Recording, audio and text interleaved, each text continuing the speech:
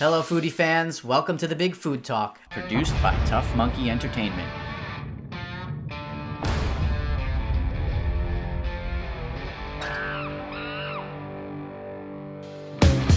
I'm your host, Sal Conca. This show supports restaurants, chefs, and food pioneers with your help. Head to bigfoodtalk.com to make your donation today or check out our fun apparel line with proceeds going directly to participating restaurants. Special thanks to the Long Island Food Council, DineLI Facebook group, and Yelp Long Island for supporting this episode. I can't wait for you to hear the inspirational story of a little donut shop located on the North Fork of Long Island. I just spoke with Jim and Kelly, the owners of North Fork Donut Company. It may have been their passion for sweets that got them into the donut biz, but it's their business smarts and ability to collaborate with other local businesses that have led to their wild success, even in times like these. Let's hear their story. Welcome to the Big Food Talk. Welcome to the first episode of the Big Food Talk. I'm really excited to see you guys. How are you all doing? We're doing great. Awesome. So let's talk about North Fork Donut Company. When did you guys actually open your business? Well, um, our business now, uh, what was it? What was our opening date was June 5th June of 5th, 2018? 2018. Yeah, I mean, we were, uh, yeah, we were, we had, we've been in our space for a little over two years now. And um, I think coming up on this past June, no, this June coming up will be two years, Yep. right? So we're a little under two years still.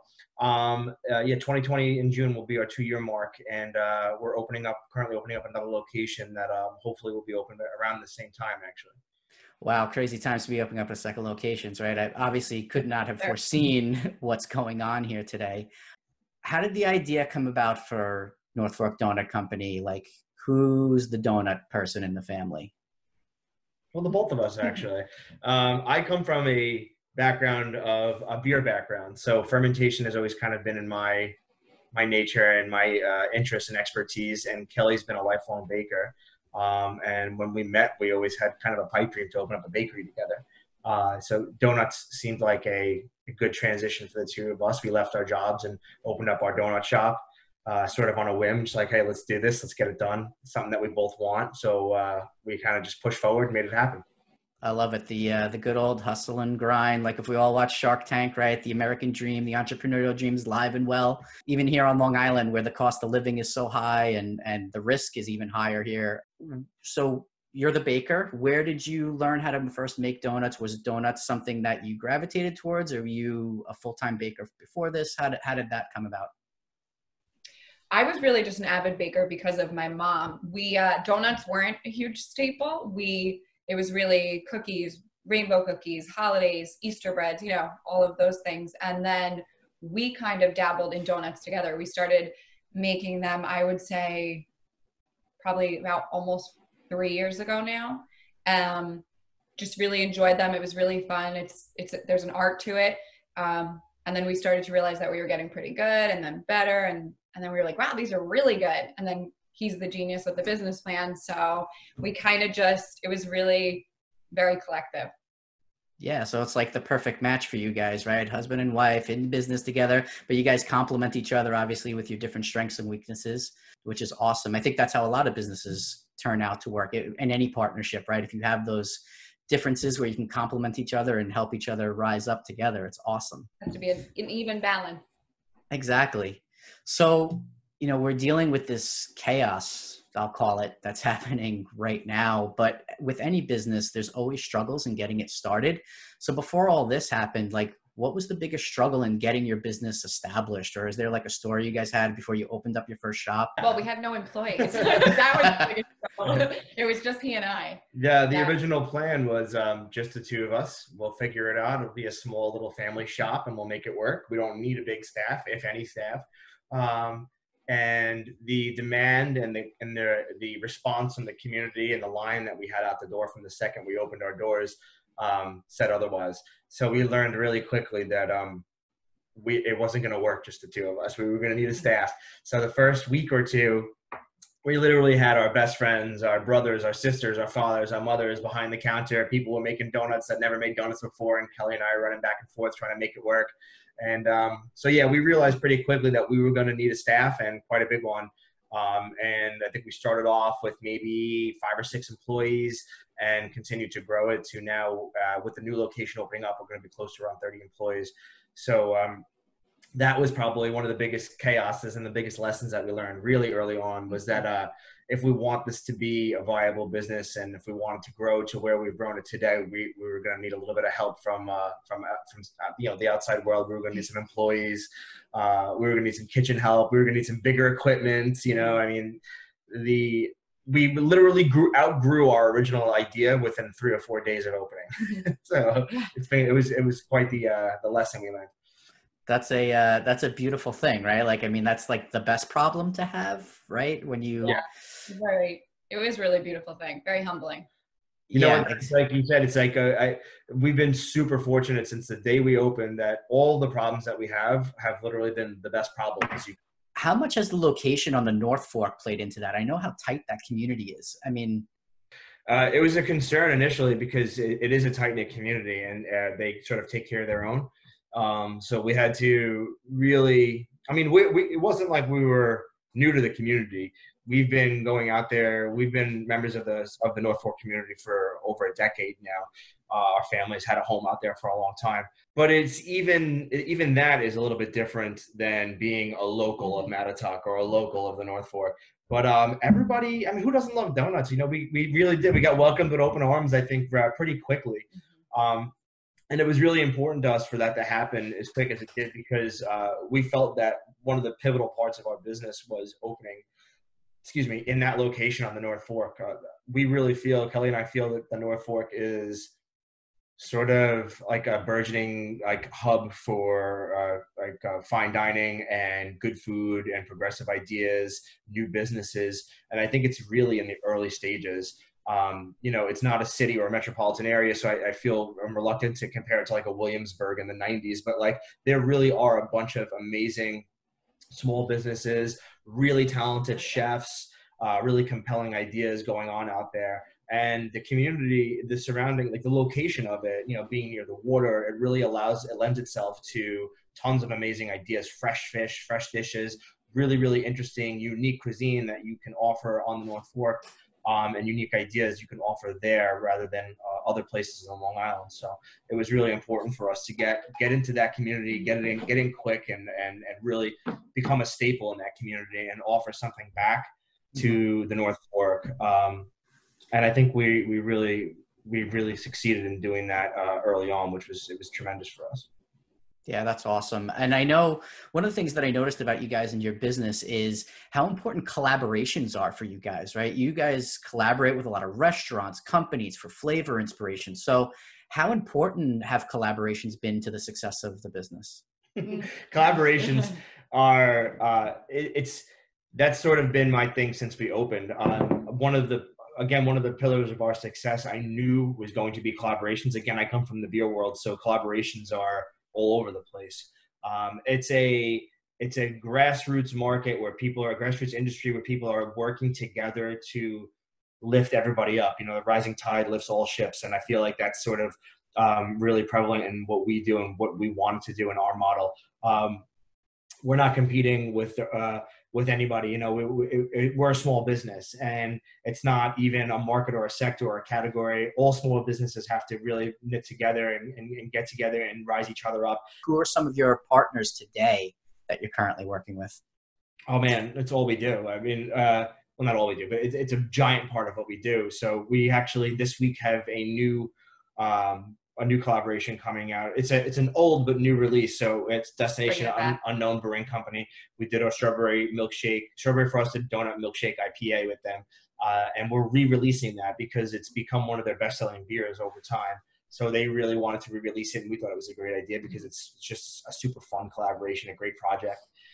Uh, so we're re-releasing that beer this week, and we're going to be delivering uh, around, I think, ten cases of it, four packs so uh, it's going to be like 240 deliveries um, of four packs with four, four, donuts, four packs four of donuts of and a four pack of beer. So you can get a four pack of our strawberry milkshake donut IPA and a four pack of our donuts. And I think we're going to be offering that uh, sometime at the end of this week, and we haven't even announced that yet. So this is kind of the first time we're talking about it. Awesome. So we'll get that out there and hopefully everybody will hear and pick one to pick one of these up. And I mean, are you, so are you guys offering delivery and takeout right now? I mean, the shop is just still open. How are you guys operating right now? Uh, so we, we, when this whole thing happened, all this chaos happened, obviously every business out there realized that they were going to have to shift gears and try to figure out how to make things work during this time. Um, again, we, we so we we started getting everything in place. Now, how do we offer delivery? How do we make this work? The store is going to be dead. We don't know. You know, everything's kind of uncertain at the moment. So we started pairing up and doing some more collaborations. We paired up with first with North Fork Brewing Company, and we did a quarantine kit where we sold a dozen of our donuts with two four packs of their beer. We made a really funny video. We put it out to the internet. We had a really awesome response on that. News 12 aired it, so we got. Um, a little bit of press on it, and it was really great. Um, and because of that, um, I think um, Sail reached out to us, and or vice versa. We reached out to them. And uh, Sail Away Cold Brew, Sail Away Coffee. Yeah. Um, we're we've been friends with Chris and, and his team since we opened our doors. They've they've been a partner of ours since day one for us. So um, we partnered up with them. Again, it's it's it's a small business thing, finding the strengths that we each have. Chris happens to have a really great infrastructure for delivery and logistics in that end and operation on that end.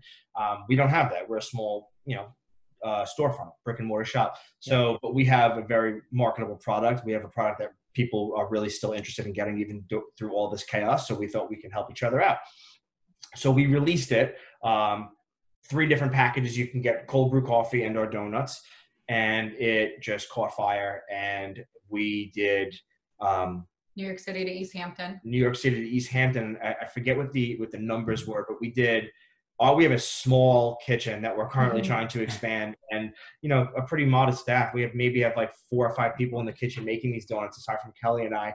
And we did around four thousand donuts in twelve hours, uh, based on demand.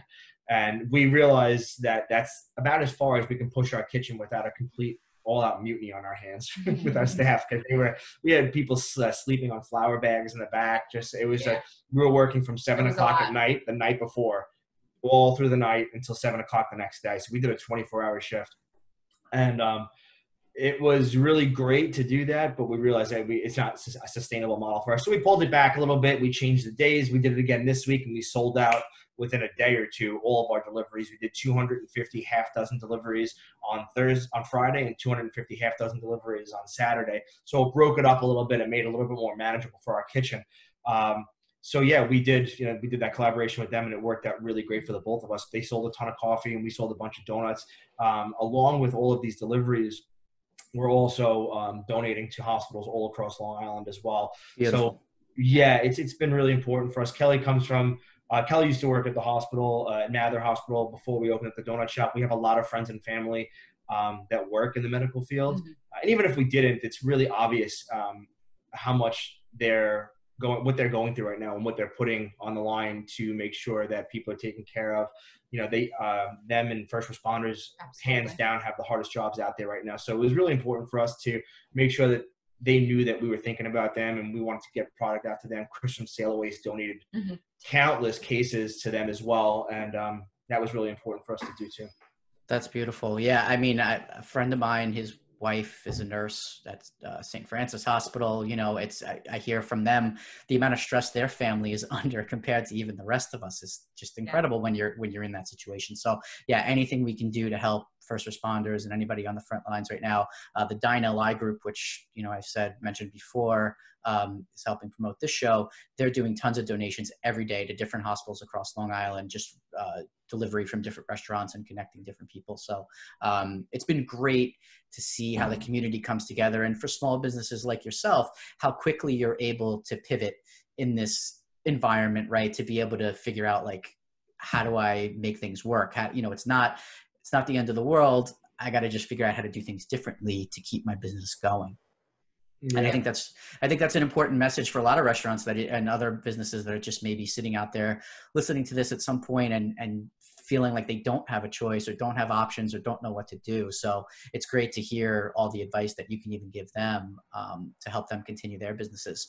In terms of some of the fun stuff, which let's hear from both of you. Which are your favorite flavors? You guys have a favorite flavor you guys make? Variety? Favorite donut is the jelly donut. It's the classic old school jelly donut. gotcha. Old school. I like it. Yeah. Very simple.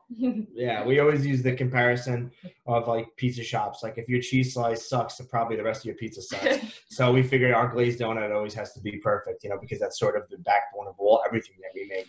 So I definitely have to agree with Kelly. Uh, glaze is probably my go-to, but and fluffy. if I'm splurging and I'm going for a fun flavor, uh, my go-to is always the caramel coffee cake. Uh, we make a homemade cinnamon streusel at our shop, and um, it's just delicious. It tastes like one of those uh, those Drake cakes you used to get back in the Mhm. day. Uh, Oh, we yeah. flavors when we first opened, and we were trying to figure out, you know, what do we make? And we thought, like, let's let's think of all the treats that we used to love when we were kids, and see if we could turn them into donuts somehow. So the coffee cake was one of our first ideas, and it became probably our, our best seller over time. Mm. And it's just delicious. That's so cool. And I know Easter just passed. I saw a bunch of pictures with uh, donuts with the Easter peeps in them, which was awesome. That so that like made me feel like a kid again. I was like, these are great. You know, as you can get people peeps. I mean, I, I went out to a couple of stores this weekend because we didn't have a bunch of Easter stuff. Like the, the shelves were wiped out. You couldn't even get some stuff at certain places. Give the kid an Easter egg hunting here, stuff like that. So, um, you know, the fact that you guys are delivering and putting these great concoctions together is awesome. I saw on your website you have a flavor forecast. So how do you guys come up with these new creative? So right, jelly donuts and the classics, you guys have like eight flavors that you stick with, but then you have all these specials running like all the time. How do you guys keep up with this and creatively keep that going and supply and uh, how, how do you guys keep up that flavor forecast going? Well, one of our He's the talker, obviously. all oh, she's the face on the on the talker. Uh, but I, I- think it's it's been uh, one of our most important things as we grew as a business was to uh, hire people that are just as smart, if not smarter than us, and talented people. And we uh, are lucky enough to have a kitchen filled with amazing qualified pastry chefs with incredible uh, creativity and um, you know it's it's just something that we, we realized early on. It can't just be kelly and i. And you know we, we we kelly and i check off on all the flavors but we definitely have a little willy wonka factory in the back with a bunch of amazing pastry chefs and creative uh, creative folks back there that are coming up with great ideas and always bouncing stuff off kelly and i. And um, between us and everybody that we have working with us um, the flavors are just going to keep rolling and, and they're going to keep getting more creative and, and more and more fun. And the flavor forecast was just a really um, i think smart way for us to um, relay what we're doing for the month to the public. And it's really taken off for us because we were getting phone calls like 90% of the phone calls we got throughout the day were what do you have today? What are you going to have tomorrow? What are you going to have next week? You know what, what kind of donuts do you make? What can we get for this party? So um, the flavor forecast really eliminated all of that. And aside from eliminating it, it, it created an amazing platform for people to just get interactive with our product and our Mhm. business. So it really helped out for us Yeah, absolutely. I'm sure it gives you guys a ton of social media content to keep the content wheel moving and, you know, all that type of stuff. And I mean, I know Rachel, who you work with for your social and, you know, all that type of stuff. So I, I you know, you guys do an amazing job at that. And, you know, I know you guys have a really rabid following. Um, they've been so supportive. So for people that don't know about you, what are the best places that people can find out about the flavor forecast? How can they get in touch with you guys? Where can they connect with you on social media? So uh, the best place to find this, the, anything that we're doing right now is Instagram. Always Instagram. Um, we're at NoFoDoco, N-O-F-O-D-O-C-O. Our Instagram is where you can see what we're making, what we have made, uh, any promotions that we have coming out, collaborations that are coming down the road. Um, and our flavor forecast is on our website, as well as there should be a link tree, I believe it's called, in our Instagram where you can click on, and it'll give you just a list of all the stuff that we offer: flavor forecast, website, promos, order forms for holidays, um, all that fun stuff. So um, Instagram, I would say, would be the easy, easily the best platform to keep up on what we're doing. Okay, awesome. And it's at just at NoFoDoco, right? Yep, at NoFoDoco. Awesome. Well, guys, I really appreciate you pitching in and and dedicating your time for this show, and because it's going to help a lot of Long Island restaurants and other businesses here on Long Island. And I just want to thank you for everything you're doing. Obviously, the the donations you're making to the front lines and and all that type of stuff. And I just wanted to thank you. Anything else that you want to share that maybe we didn't discuss today about your business that people should know about? Sure, I would say um, uh, one important thing is we're actually still open our store. Um, we are deemed Open an essential curbside. business. So we're doing curbside pickup, and we also have a pickup window uh, in our store. So if you come to our shop, we have all of our donuts plastered up on the on the on the door, so you can see what we're making for that day. You can make your choices. You walk around the side of the building, and we have a cashier at the window that can you can still get all of your donuts. You can get cold brew coffee still, all of our subtlety, all of our offerings, any merchandise, but mainly the donuts. Um, we're still open. Come out. You know, you want to get out of the house, put the kids in the car, take an afternoon trip out to Mattituck, and get yourself a delicious donut. You got it. Well, awesome, guys. Thank you so much. And uh, I look forward to seeing your continued success when we get back to our new normal. And I'm sure you guys, I have no doubt hearing how smart and intelligent you guys are at running your business. I have no doubt you guys will continue with your success. So, Thank, Thank you, you. so much. all right, guys, have a great day. All right. Thank best you. of luck to you. Thank you. Thanks for tuning in to the Big Food Talk, produced by Tough Monkey Entertainment. Subscribe on iTunes and wherever you listen to podcasts. Follow us on Instagram for behind the scenes takes or watch complete episodes on YouTube. Don't forget to make a donation at bigfoodtalk.com.